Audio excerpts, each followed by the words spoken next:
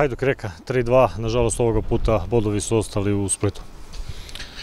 A da, stvarno ovaj, nije bilo dobro danas, pogotovo u tih nekih 50-55 minuta.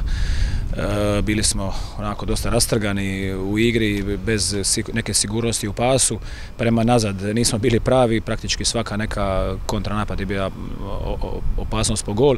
Nismo bili u duelu pravi, jednostavno, onda kad smo zabili gol, nešto smo stabilizirali, međutim onda kad je ono, kako se kaže, najgore vrijeme, 45 minut se primi gol, dogovor u slačionici je bio da izađemo jako, međutim, dvije minute poslije toga primamo gol, tako da stvarno rekao bi to nije bio ovaj dan, dan danas rijeke. Nakon toga smo se vratili, ako mogu šta pozitivno ovaj, uzeti, to je, to je od 50. minute pa nadalje. Vratili smo se, e, imali smo još šanse za 3-3, međutim nije bilo dovoljno.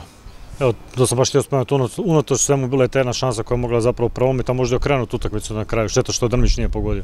Pa da, imao je stvarno odličnu šansu, možda jednu Murić imao dobru šansu, ali kažem, utakmicu smo izgubili u tih prvih 50 minuta.